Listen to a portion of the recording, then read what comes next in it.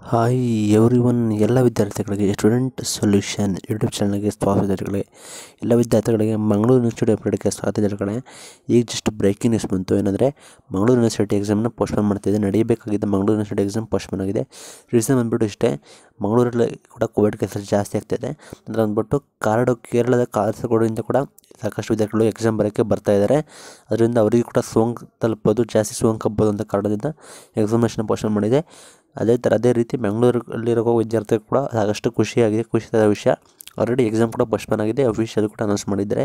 ಈಗ ಕೂಡ ನ್ಯೂಸಲ್ಲಿ ಬಂತು. ಥ್ಯಾಂಕ್ ಯು ಫಾರ್ ವಾಚಿಂಗ್ ಇದೇ ಥರ ಯೂನಿವರ್ಸಿಟಿ ಅಪ್ಡೇಟ್ ಸಬ್ಸ್ಕ್ರೈಬ್ ಸಪೋರ್ಟ್ ಮಾಡಿ.